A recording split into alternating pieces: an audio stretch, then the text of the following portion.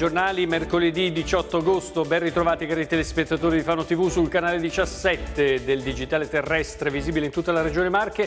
C'è la rassegna stampa, c'è Occhio ai giornali, il commento alla stampa del giorno che comincia con il santo. Oggi è Sant'Elena, la madre dell'imperatore Costantino e dobbiamo dire che si adoperò molto nell'assistenza ai poveri Sant'Elena. Eh, poi eh, andò, pensate, in un pellegrinaggio a Gerusalemme andò alla ricerca dei luoghi della Natività, della Passione, della Risurrezione di Cristo e onorò il presepe e la croce del Signore costruendo venerande basiliche. Il sole sorto alle 6 e tramonterà alle 20.08. Adesso andiamo a vedere il tempo.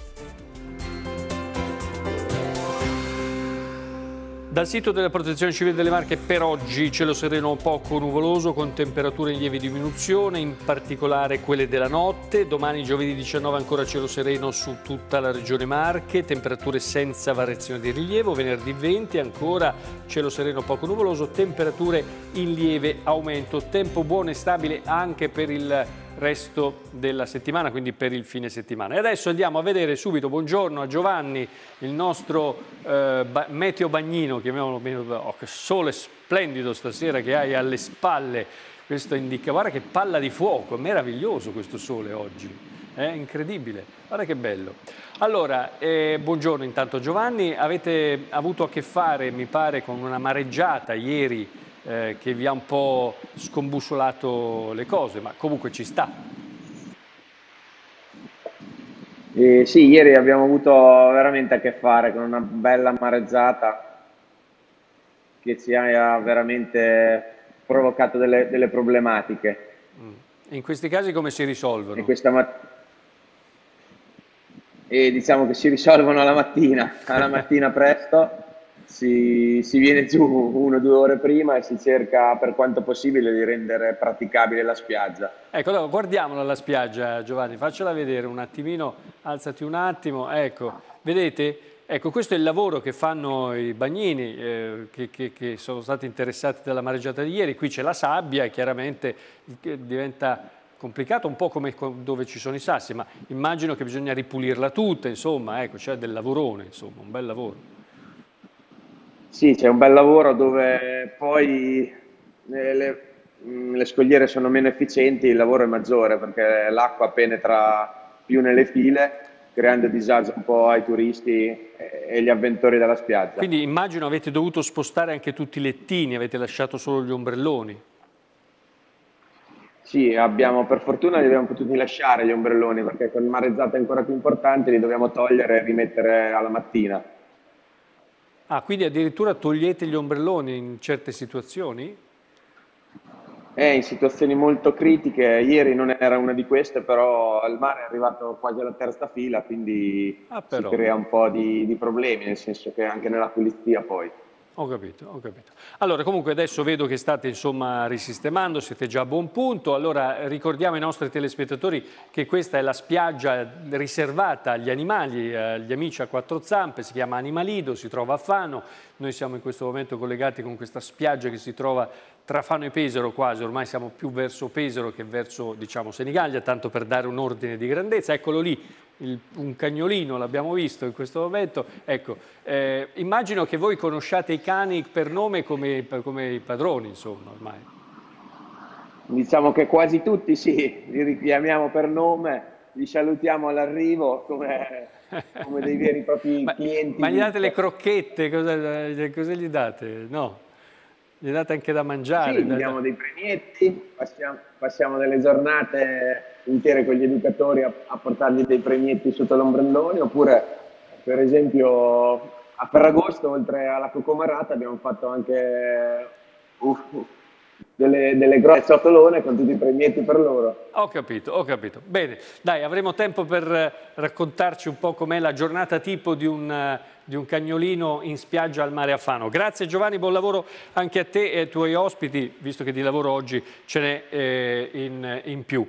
Allora, innanzitutto, cominciamo dai giornali, cominciamo dal Carlino di Pesaro, 1000 euro a chi riconosce il ladro, questo è il titolo d'apertura ed è l'appello di un titolare di un bar che promette una ricompensa perché? Perché qualcuno, vedremo tra poco con un fermo immagine, ha rubato le mance eh, che, che, sono lì eh, spesso nei, nei, banconi che servono le, le mance che uno se vuole può lasciare per eh, come indice anche di gradimento eh, e quindi sono state rubate. Il colpevole è stato però ripreso dalle telecamere e quindi eh, chi lo riconosce, questo ladro, eh, verrà in qualche modo premiato con 1000 euro. A centropagina invece la fotonotizia per lo sport, ovvero il basket, VL, la sorpresa saremo noi, Demetrio, Paceco e Sanford lanciano la sfida, i tre giocatori di basket, poi Montecchio che piange Bezzicheri, l'anima del paese, aveva 83 anni, nella morsa dell'AFA l'allarme siccità, niente acqua nel fine settimana per gli agricoltori poi truffatori che fingono la telefonata con il sindaco, ma un'anziana ha, come si dice, mangiato la foglia e li ha fatti fuggire. Qua sotto siamo pronti ad accogliere gli afghani, Fano si mobilita, Diocesi, Caritas e mondo dell'associazionismo in aiuto dei profughi in fuga dai talebani.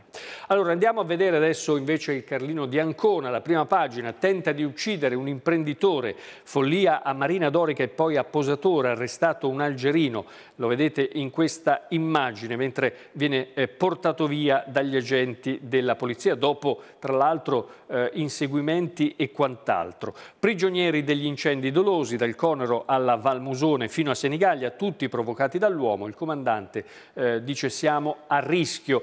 Il Corriere Adriatico invece, l'edizione di Pesaro, screening il pool a quota 20.000.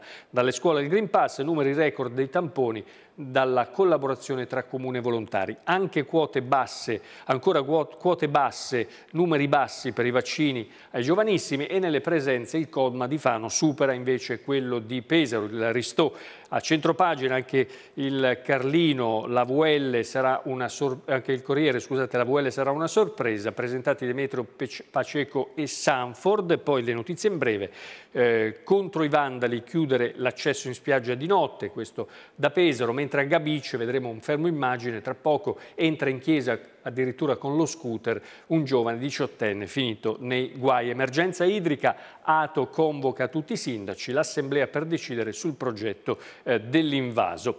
Allora andiamo eh, sulla pagina di Ancona del Carlino per vedere soltanto un piccolo pezzo di, questo, eh, di, questa impresa che ha fatto quest'algerino eh, che poi è finito in manette. Uh, siamo nella zona di Ancona, come abbiamo detto, è successo poco prima delle 11.30 di ieri mattina e eh, tutta questa eh, questa, questa, cosa si è conclusa con l'irruzione della polizia all'interno di un appartamento al primo piano a Posatora, siamo ad Ancona appunto, dove questo fuggitivo si era nascosto. Chi è il fuggitivo? Il fuggitivo è un 24enne algerino che ha numerosissimi alias, nomi di fantasia e molti precedenti per resistenza, furti e rapine a eh, Milano e anche ad Albenga in Liguria, con accuse eh, che per lui in questo caso sono di tentato omicidio, lesioni e resistenza. Allora, non vi racconto tutta la storia che ha scritto Alberto Bignami questa mattina sul resto del Carlino edizione di Ancona, però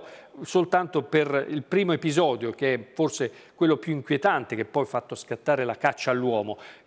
Tutto è iniziato quando il giovane, questo appunto 24enne algerino, è entrato nel porticciolo di Marina Dorica, prendendo la direzione della Lega Navale, dove ha incontrato un imprenditore di 56 anni della provincia di eh, Perugia che stava sistemando la batteria del suo gommone. A un certo punto questo 24enne gli si avvicina e gli fa una domanda di che ehm, eh, gli dice se era credente oppure no, cioè se credeva eh, in Dio oppure no. Lui risponde eh, sì, di che religione sei? Lui dice io sono cristiano. A quel punto questo 24enne gli si piomba addosso, gli ficca la testa sotto l'acqua e cerca di a negarlo, cerca di affogarlo. L'imprenditore si è lasciato cadere in acqua e quindi si è in qualche modo liberato. Due agenti, due uomini della Guardia di Finanza che erano lì vicino al porticciolo hanno iniziato la, uh, la fuga, hanno iniziato la, la, la, caccia, nel frattempo l'algerino si è buttato in acqua e lì c'è tutto il racconto che non vi, non, vi, non vi dico perché chiaramente lo troverete sul giornale di questa mattina. Comunque un sacco di situazioni quasi da film che si concludono con l'arresto eh, in un appartamento, perché poi è fuggito da tutte le parti, l'hanno beccato dopo diverse ore ed è stato arrestato. Allora invece la, la pagina, sempre dal Carlino di Ancona, eh, da Senigallia, queste sono le immagini che vi abbiamo fatto vedere anche nel nostro telegiornale ieri sera, occhio alla notizia, eh, fiamme dolose, eh, l'incendio che eh, è divampato eh, l'altra sera e che ha dato pensieri soprattutto agli abitanti di, ehm, eh, di, di, di alcune vie vicino alla Complanare, è il caos, è stato il caos, i senegaliesi raccontano l'incubo, vedevamo lingue di fuoco alte, almeno quattro i punti di innesco, uno con certezza dalla complanare. Un tabaccaio dice era un muro di fumo e il rogo si allargava sempre di più. Dunque la novità rispetto a quello che vi abbiamo raccontato ieri sera è che eh, ci sono quattro punti di innesco, cioè qualcuno eh, ha incendiato, eh, si è messo giù d'impegno e ha innescato appunto le fiamme che poi hanno creato tutto quello che abbiamo e vi abbiamo fatto vedere anche grazie alle immagini eh, dei eh, telefonini che sono arrivate e che abbiamo raccolto anche sul posto. Dall'altra parte lasciamo l'elemento del fuoco, parliamo di un altro elemento, l'acqua, che purtroppo manca ed è un problema, il problema della siccità. Adesso arrivano anche i divieti, divieti perché ovviamente l'acqua quando è poca bisogna razionarla. Allora gli agricoltori si ritrovano adesso senza acqua. Un provvedimento della Regione per la diga di Mercatale stop all'uso irriguo nei fine settimana, eh, precedenza infatti eh, l'avranno gli acquedotti, che portano quelli che portano l'acqua nelle case. Netti del Consorzio Idrico dice come al solito si penalizza la eh, categoria degli agricoltori. Intanto le autobotti mm, sono in giro in mezza provincia di Pesaro Urbino, Lato rilancia il maxi invaso, un centinaio di viaggi giornalieri per garantire acqua potabile in 20 comuni dell'entroterra, intanto si torna alla carica per l'operazione cosiddetta Candigliano, un summit, un incontro a settembre con i eh, sindaci. Questo è quello che troverete nelle pagine del eh, Carlino. Il Corriere invece fondi e progetti sindaci a raccolta sul nuovo invaso, a settembre l'atto in assemblea per valutare lo studio di fattibilità, va superata la grande sete di cui sta soffrendo il Pesarese e ci sono al vaglio alcune ipotesi. Intanto la fotografia che pubblica il Corriere questa mattina è riferita al pozzo del Burano che vi abbiamo fatto conoscere anche attraverso le nostre immagini. Eh, bisogna adesso capire con questo studio di fattibilità eh, se e come realizzare questo invaso per raccogliere l'acqua, perché eh, oggi credo che appunto sia più urgente che mai pensare a delle soluzioni piccole o grandi, piccoli invasi, grande invaso, insomma comunque l'unica cosa che bisogna fare è evitare che l'acqua finisca via al, al mare eh, senza essere trattenuta perché a questo punto eh, è fondamentale trattenerla il più possibile. Allora Dio a Bezziccheri invece questa è la pagina del Carlino di Pian del Bruscolo sul, eh, sul, sulle pagine interne da Valle Foglia è considerata l'anima di Montecchio, un uomo entusiasta, generoso, pieno di idee, di spirito di iniziativa, scrive il giornale che ha saputo condensare in 83 anni quello che un altro farebbe forse in mille anni. Eh, un uomo generoso e buono, il funerale eh, verrà celebrato oggi alle ore 16 a Montecchio, eh, ovviamente come scrive il giornale Franco Bezzicri che eh, ieri eh, è morto dopo aver lottato per mesi contro la malattia. Poi sulla, eh, sul ponte di via Psella, niente da fare, dice l'assessore Aguzzi, risponde eh, l'assessore alla richiesta di allargarlo eh, fatta dai sindaci, dice Aguzzi la regione non ha eh, competenze, mentre la pagina di Valle Foglia del Corriere Adriatico, anche qui apre con, a mezza pagina con la, la, la, la morte di eh, Franco Bezziccheri, eh, se ne va un'altra anima storica, titolare della Serenissima, presidente dei cantori, ha raccontato il suo paese in un libro, oggi, come abbiamo visto, è detto eh, l'addio. Poi tesserini da caccia pronti eh, tesserini di caccia pronti per essere ritirati all'ufficio servizi sociali di Valle Foglia lunedì, mercoledì e venerdì dalle 9 alle 13 fino al 31 di agosto. Da Fano invece pronti ad accogliere i profughi afghani, questa è l'apertura della pagina del Carlino, eh, dopo il grande esodo che è in corso, Diocesi Caritas Emergency di Fano in campo per offrire il proprio sostegno alle popolazioni in fuga dai talebani. Don Messina dice lunedì avrò un incontro con la Fondazione Migrantes e poi decideremo, insomma, anche in base a quello che dirà il nazionale, per esempio, della Caritas, quali saranno le linee guida per accogliere, per l'accoglienza, insomma. Senza mascherine in ospedale, invece, la pagina di Faro del, del Corriere Adriatico è il racconto di la denuncia, più che altro, di una donna che si è trovata, suo malgrado, insomma, in fila all'ospedale Santa Croce per ritirare un referto e lei racconta il personale non usava protezioni, cioè erano senza mascherine. Questo fatto è avvenuto al chiuso nella sala d'aspetto. E poi dice noi utenti siamo ligi alle regole, i dipendenti invece dell'ospedale a quanto pare no. Poi il salvataggio a Fosso 6 ore, disarcionato eh, sul windsurf, eh, bagnini corrono in aiuto, i bagnini li vedete in questa fotografia pubblicata sul giornale, poi ancora la cronaca da Fano, schianto tra auto, passeggero ferito, un uomo investito in zona stazione, la polizia locale non c'era perché si trovava a Torrette ad effettuare delle eh, rimozioni. Poi la pagina di Fano invece del Corriere Adriatico, turismo, si prepara la fase operativa eh, per eh, IARC, l'incarico da 36 mila euro, eh, dopo marketing e comunicazione al consulente viene affidata anche l'elaborazione del programma. Questo, lui si chiama Joseph eh, Iarche, è uno mh, insomma, che sa il fatto suo, eh, fa delle consulenze anche molto importanti, si è occupato anche di eh, studiare eh, il fenomeno Fano, la città di Fano, di aiutarla in qualche modo a eh, essere rilanciata nel mondo e qui adesso si va alla fase operativa. Poi dalla romanità al Medioevo, l'altro titolo sulla pagina di Fano, la città rievoca la sua storia, appuntamento all'anfiteatro Rastatt questa sera, mentre domani il cantautore, il cantante Bugaro sarà al paese dei Balocchi.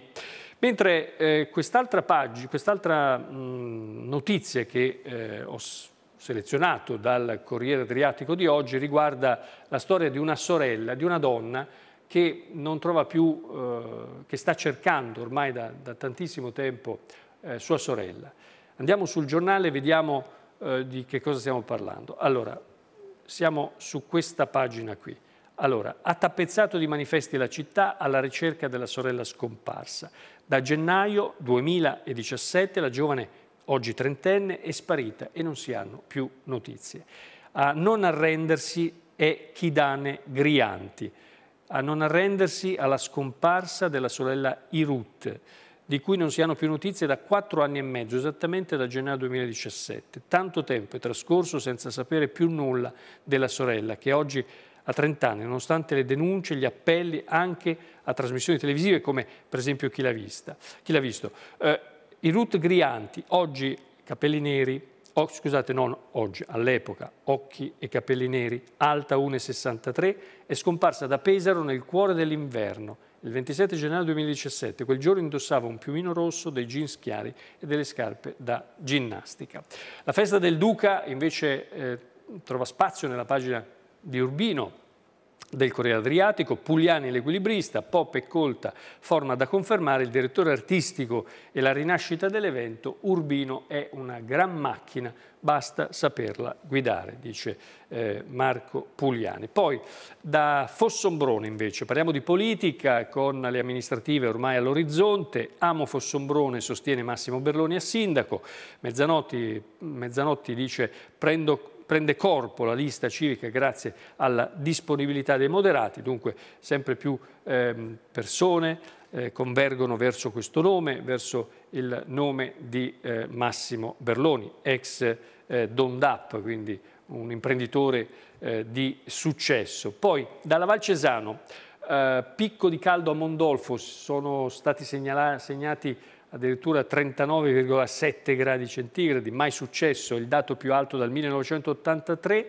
nel 2010 si arrivò a 37, ma sotto, eh, sempre da Mondolfo, 5.000 euro per le famiglie in difficoltà, la vedete la, la consegna simbolica dell'assegno del sindaco Nicola Barbieri, consegna della fondazione al sindaco che li utilizzerà per la staffetta solidale.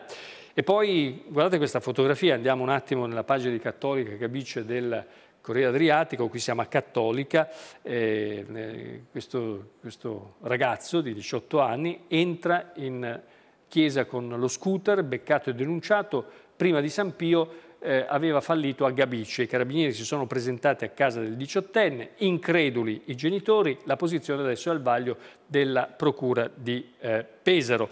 Mentre eh, da Senigallia il ponte a settembre aprirà alle automobili, la domenica sarà sempre pedonale, invece la data indicata è quella del 6, il 6 di settembre, ma prima la Regione deve ultimare la consegna al Comune. Chiudiamo con la pagina di sport perché fino adesso abbiamo parlato di eh, Fano, di calcio, eh, del Fano Calcio solo per le vicissitudini e per la questione dell'esclusione dal ripescaggio, ma a quanto pare invece qualcun altro giustamente stava lavorando per comprare eh, giocatori per affrontare la nuova stagione calcistica che comincia poi tra un mesetto. E eh, oggi si apprende dai quotidiani che il eh, Fano, appunto, l'Alma Juventus Fano, ha messo a segno quattro colpi e l'attacco è già belle che sistemato. Granata molto attivi sul mercato, presi gli attaccanti Tortori, Casolla e Broso e poi il, dif il difensore Gigli che ha giocato anche in eh, Slovenia. E tutti i dettagli eh, li troverete sui due quotidiani. Eh, qui eh, io ho preso il resto del Carlino